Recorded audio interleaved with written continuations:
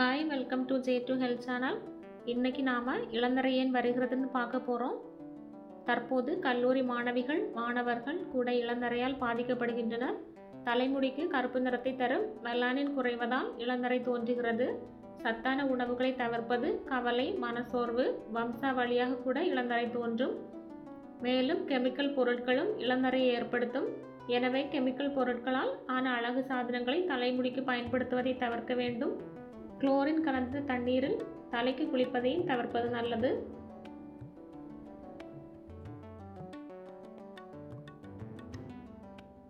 நெல்லிக்காயை தினமும் சாப்பிட்டு வந்தால் நரைமுடி மறையும்.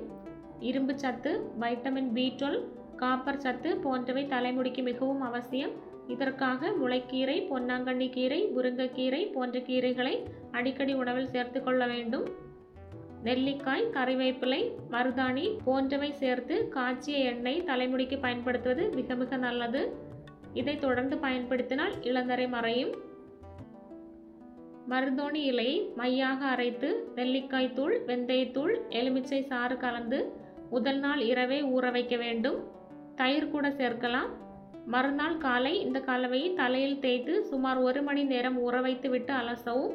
பின்னர் சீகைக்காய் தூள் சேர்த்து தலையை அலசவும். இது இளந்தரை ஏற்படுவதை தடுக்கும். இந்த வீடியோ பார்த்ததுக்கு நன்றி. இன்னும் பல தகவல்களுடன் நெக்ஸ்ட் வீடியோவில் பார்க்கலாம்.